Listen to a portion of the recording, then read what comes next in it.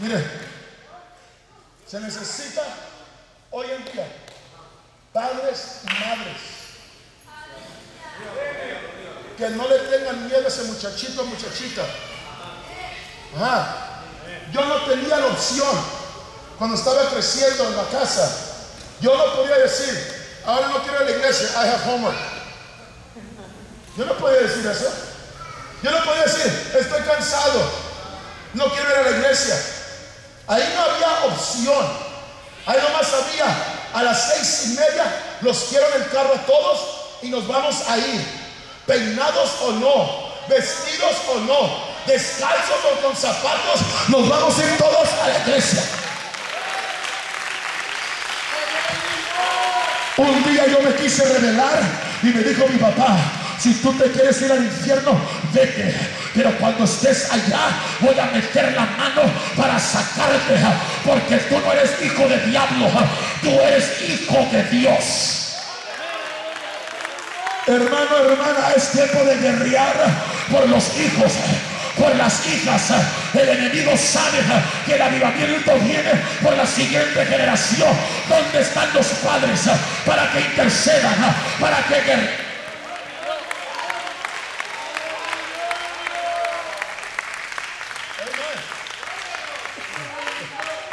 ¿Dónde estamos?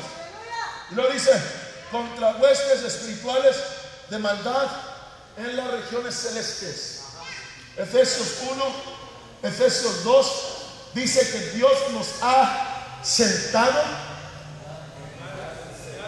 ¿Qué? En lugares celestiales juntamente con quién? Con Cristo Jesús. Los primeros tres, principados, potestades, gobernadores y del siglo, atacan a la iglesia de afuera para adentro. Y la cuarta ataca a la iglesia de adentro para afuera.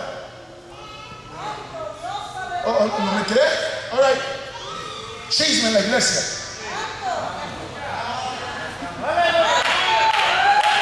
Desobediencia en la iglesia.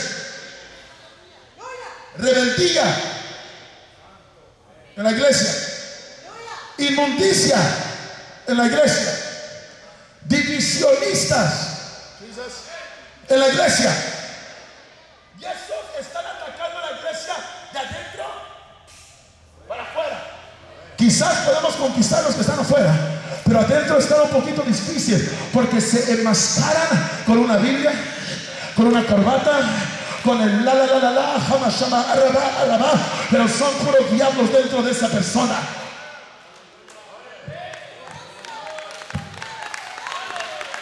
Miren todo lo que lo que necesitamos son atalayas que se levanten y digan mi iglesia no.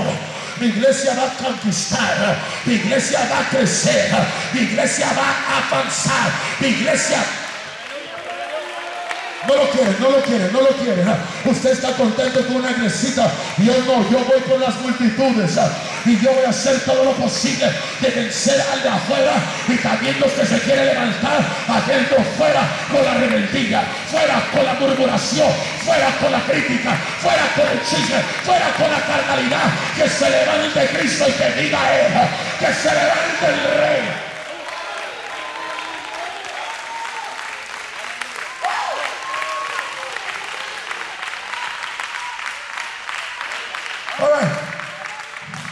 Ahora sí entremos a la predicación, ya que puse el fundamento. Ya que puse la introducción, vámonos al mensaje.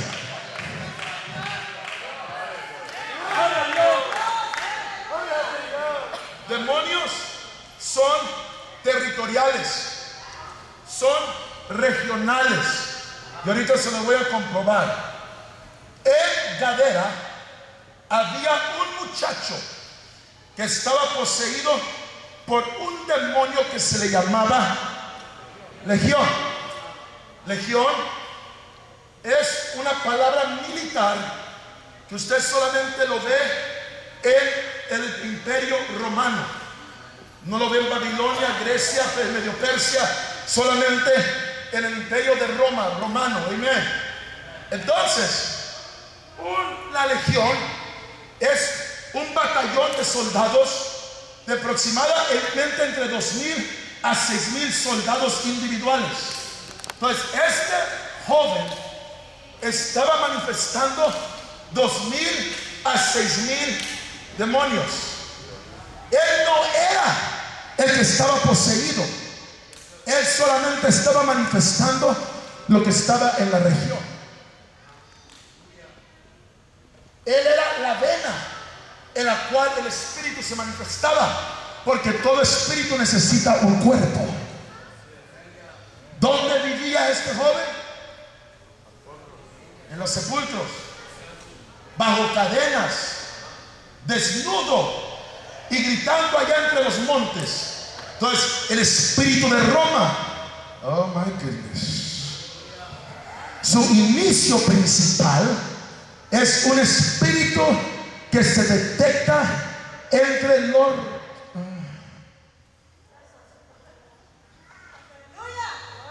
no sé si lo aguante, mejor vámonos a la casa.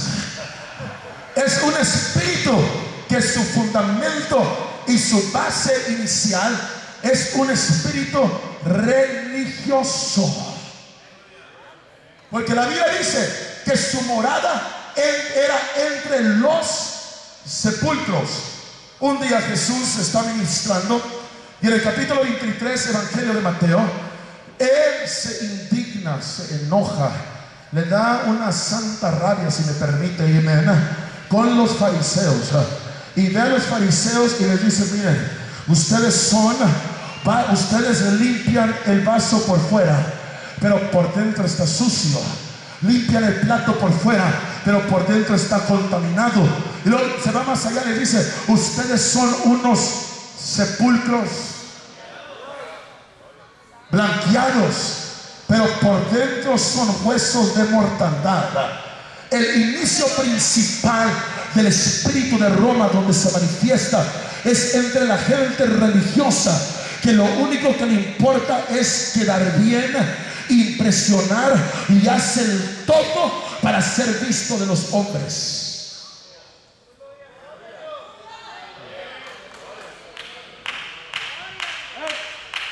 Y aquí están, amén.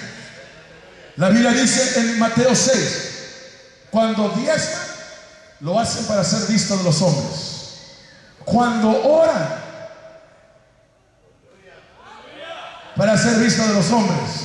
Cuando ayudan, para ser visto de los hombres. Cuando visten, para ser visto de los hombres. Y es un espíritu criticón, murmurador, juzgador. Porque entra alguien que no se viste como nosotros.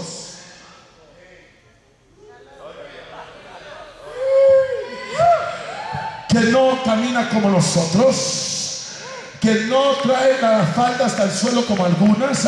Que no parece monja como otra. Y los estamos juzgando y nos levantamos piadosamente dándonos golpes de pecho. Te agradezco Dios que no soy como este.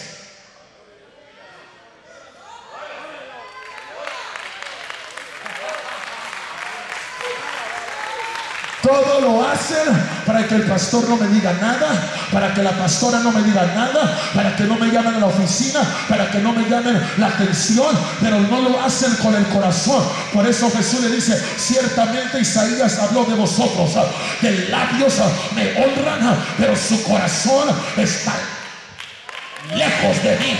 Yo le doy gracias a Dios yo no vine a ver cómo usted vino vestido, cómo usted vino vestida, si traía alhaja aquí. No, no, no. Yo vine a ver la gloria de Dios manifestarse en este lugar. Bueno, parece que uno, dos, tres, cuatro, cinco, seis, siete también vinieron a ver la gloria de Dios. Otros vinieron a ver qué tan largo el pelo, qué tan largo la falda, qué tan larga la lengua. Ya no, Dios